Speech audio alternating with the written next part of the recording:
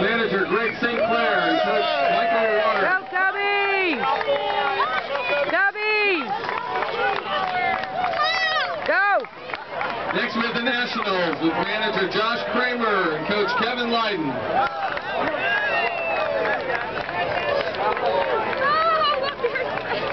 Next we have the Phillies with manager Brian Tynan and coach Gary Newman.